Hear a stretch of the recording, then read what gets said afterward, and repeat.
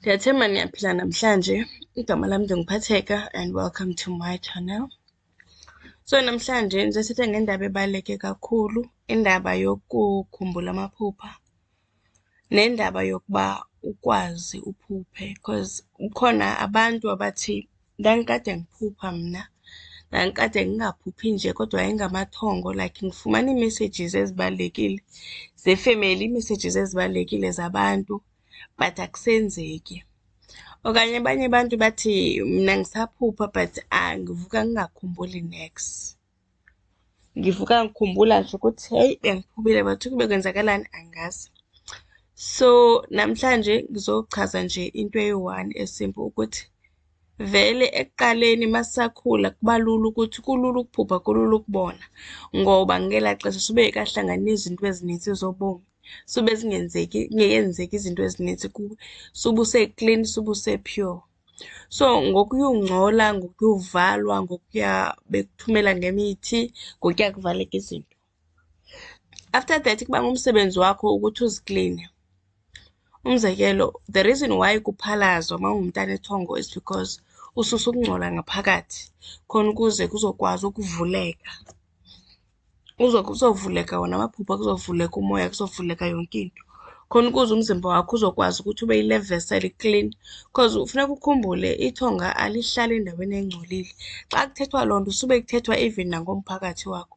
So that's why kumele uhlale uziklina that's why uthole ukuthi siyaphalaza siyahlamba futhi siya siyafutha ukugquma so namhlanje ngiphathele isiwasho nje silula mawufuna ukukhumbula amaphupha mawungumuntu okhohlwa amaphupha or ufuna usondeza abantu abadala ufuna usondeza idlozi ubone ukuthi hayi awusababoni awusathungi awusaphuphi nje ingathi kuvalekile.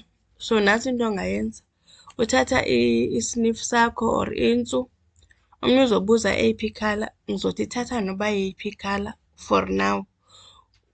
Because i-belief yam iyi-one kukuthi if elam, if elam ithonga lithi lifuna u-green ayithi nelakho lofuna loo nto. So wena thatha noba yeyiphi ukuze if ali if le khalo oyithathile aliyifuni awuke uthonge into ngokwakho cause yindlela othula ngayo ethongweni ukhula kanjalo ngokuthi izinto ukuzibone ngokwakho uzothi uzazi uba okay nantsi eyam so thatha isnifu noba yeyiphi ikhala Uyakwazi uthi apha sewuhlambile obvious ngesephi yakho uhlambile ugqibile andithethi ngaloko apha so uthatha isnifu uthele itispuni emanzini uhlambe uyenza loo nto for five days okanye if unayo i-rough salt uthathe ifake le nto zam icephe nje or uthi nje ngesandla akunandaba zee-measurements ukuthi zamacephe nani nani but nje ngumlinganiselo ungathela nje esandleni then uthele ne-holy ash uhlambe ngaloo mixture i-five days iindaba zama-teaspoon namacephe la azibalulekanga but iindaba omele uyibambe kukuthi yeyiphi enintsi kunenye okay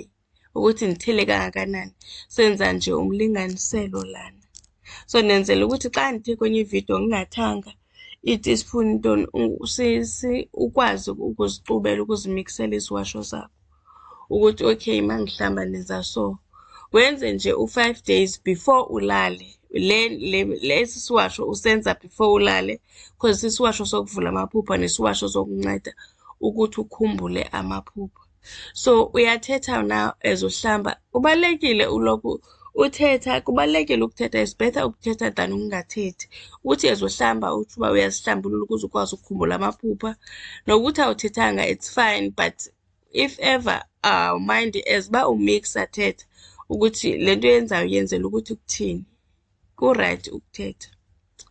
So nantso into ebendifuna ukunisherishela yona namhlanje, abantu abanengxaki yokukhumbula amaphupha yenza nasi isiwasho. Uyakwazi ukwenza nge-sniff sisodwa, uyakwazi ukwenza nge-sniff netyiwa, uyakwazi ukwenza ngazo zoyi-three. Akuthi xa uneyi-one awukwazi ukuyisebenzisa for ukukhumbula amaphupha.